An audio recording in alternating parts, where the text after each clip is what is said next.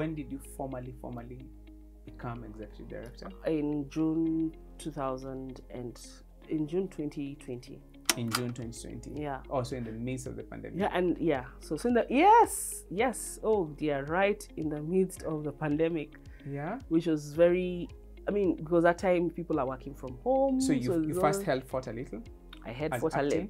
Yeah, from about from January 2020 All till right. June 2020. Again in the midst of so pandemic period your your formalizing of the leadership the executive leadership role yeah. is within this yes but even period. the actual even during the acting because yeah. the pandemic came in yeah. when was that march around march 16 17 so i just just done two months of acting yeah so just learning to interact with staff in my new role and mm. then all of a sudden close mm. office mm. make decisions because now corona comes mm. you have to make quick decisions mm. i remember we had to make really quick decisions mm-hmm. and then so you close the office people are working from home but then now, how does that work? We had never worked. I mean, I think at um, BBC, the only place I'd had an experience of working from home was at BBC Media Action. Mm -hmm.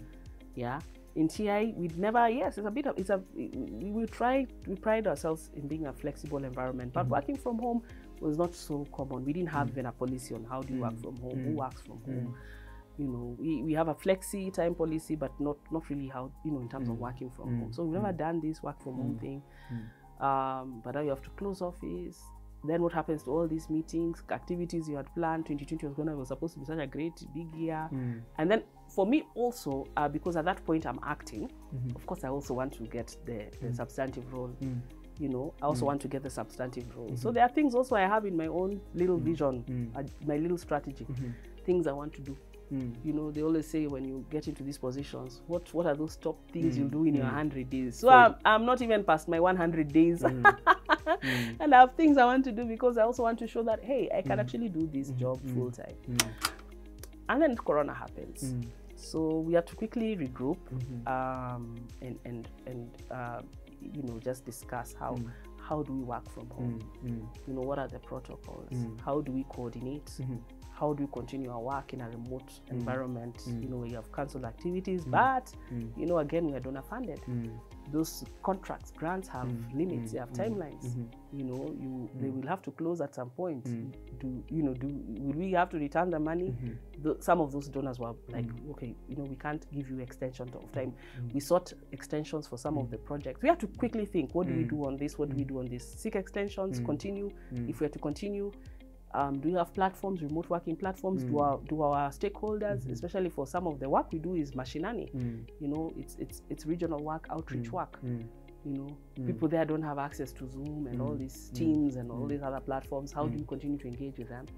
So all these decisions of how do we then navigate and, and transition and continue to work even as we face this pandemic. Because I think after one or uh, two months, we realized this thing is not going anywhere. First, we thought, mm. okay, it's just one week, mm. then it will go. Mm. One week becomes a month, a month, a month becomes two, mm. two months mm. becomes six months. Mm. It's not going.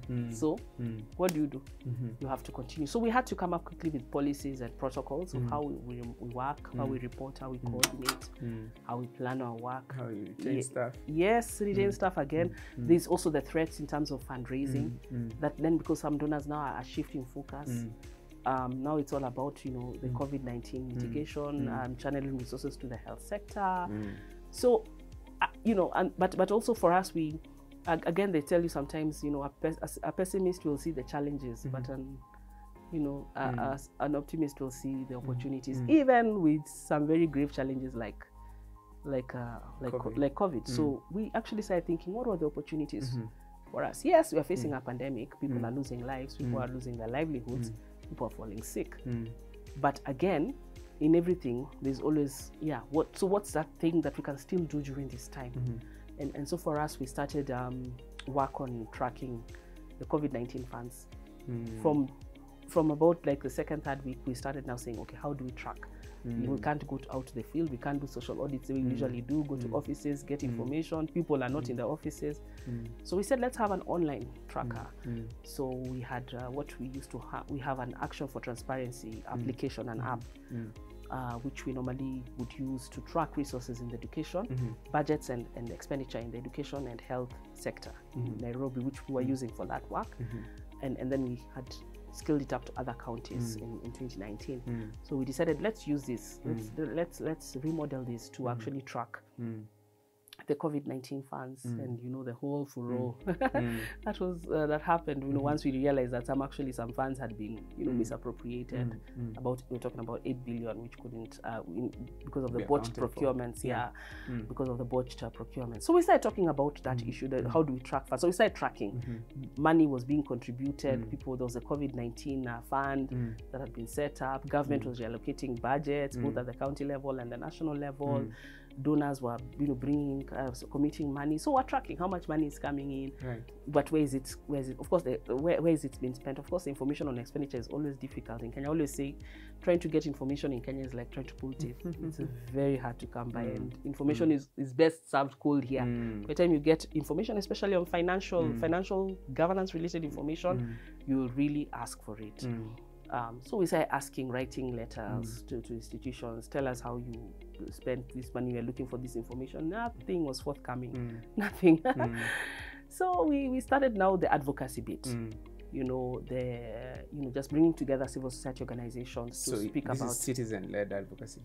I mean, we're, we're basically like we, we initiated just coming to, together with, with other organizations, other, yes. other, governance and human rights organizations, okay. right. and even at some point the medical, mm. uh, like the Kenya Medical mm. Association, the Kenya Union of Clinical Officers, mm-hmm. The Nurses Union, as, mm-hmm. the, nurse, the Nurses Association as well, mm-hmm. just to start asking questions on where are this, where, where is this money going? Mm.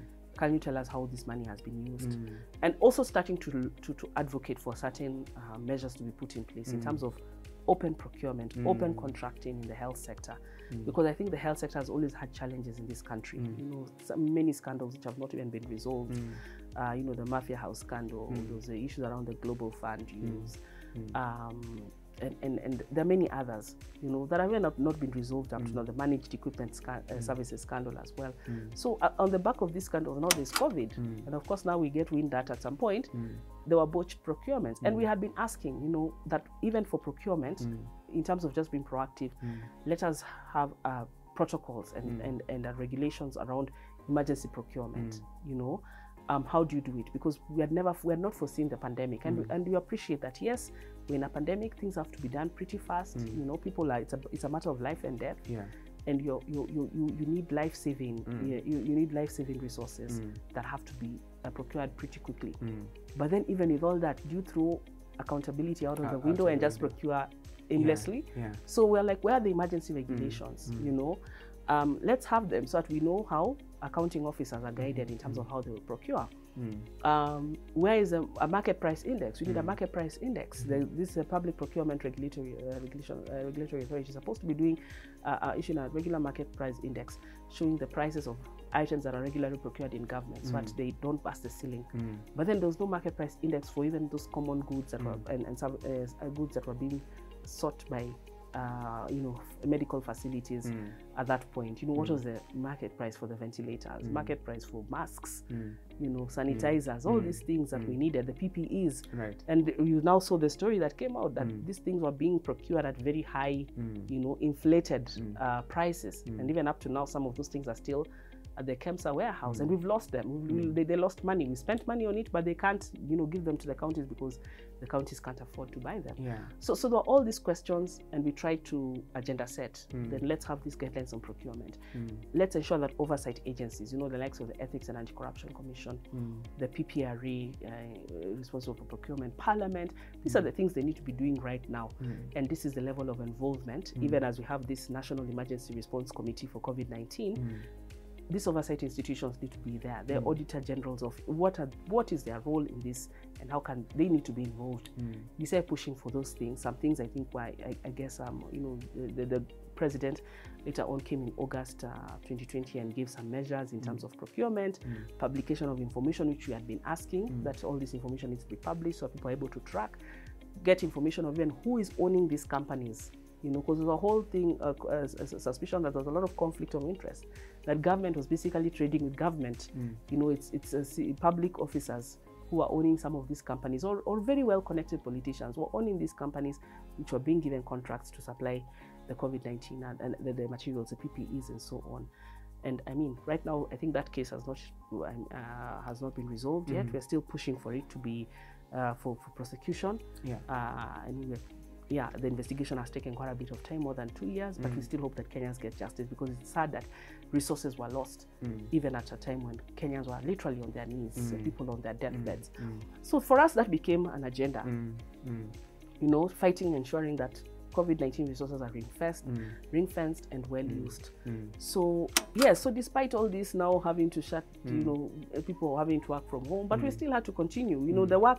In fact, I tell, I told my colleagues that even as we go home, remember that this is the time now when we need to be most vigilant, mm. especially in a time of crisis like this. Mm. And that is exactly mm. what happened. So we knew that we had to be vigilant. We knew that we had to continue being innovative and being alert on what was happening and reacting and I mean and agenda setting. You kept the entire issues. team? We kept most of the team. Mm-hmm. Uh, most of the team was still there because we had continuing grants. I think we are, we are uh, what, I- what, what we've tried to do at Transparency International is have various projects running. So we have various programs, we have various projects um, within those programs and uh, supported by different um, the different donors. So some um, institutional donors, um, some foundations, and so on. Um, we also try to raise our own resources as well.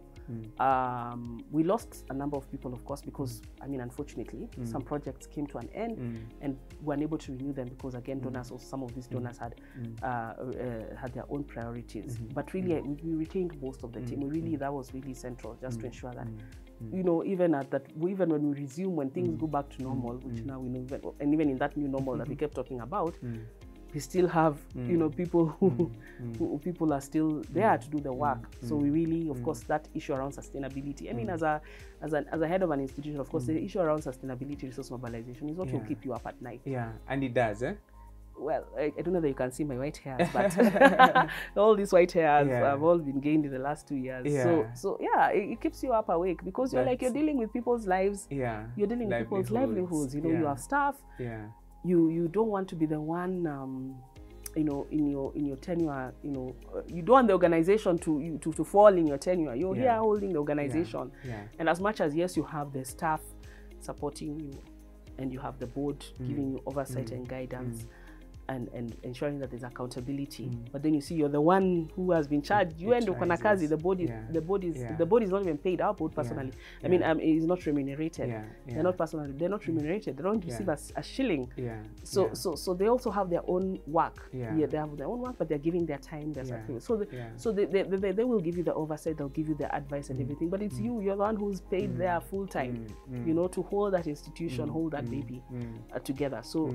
Yes, you, you get the support, but mm. you're the one held accountable mm. for yes. huyu mtoto akianguka, mm. it's on you. So you also have to ensure that yes, there are people who have come and gone, and TI TI was formed in 1999. So this year we're turning 23 years. Yeah. So in those 23 years, Yeah. the, or before me 21 years, Yeah. there are people who worked so hard to keep that organization. So after that, do you want the baby to fall, Exactly. to fall in your hands? And yet it's not just it is on you, but it's also not just all on you because the the, the, the factors the, the, the, factors surrounding Yeah. this season are not just um, things that are there are things that are outside your control as well. Yes. You know, the, the, the, the COVID situation, for instance, is Yeah. one of those that's not um, in your situation. I mean, in your control. However, you know, the pain points are real. yeah the pain points are real and they're affecting people and these Yeah. Mm. are people with families and mm. also you you don't and also people are also relying on transparency international kenya Yeah. as the premier anti-corruption institution Yeah. to, mm. to, to, to, to, to champion for issues Mm. around transparency at that mm. very critical time. Those resources every single shilling must count. Mm. so you know there's that expectation out there. What are you guys doing about this? Mm. you know? Um, but there's also you're also trying to ensure that even despite these challenges those projects those resources that you Yeah. already have for other projects that have been affected by corona Yeah. continue Yeah. you know So you speak about resourcing is a major thing that keeps you up yes at night yes um, as a as the head of the organization, and uh, and and and you know I've spoken with many other leaders who you know uh, say the same. What other thing you know is crucial as a head of organization? Do you Yeah. think a lot about? Mm. Um, for for you in your case Yeah. for an organization like TI.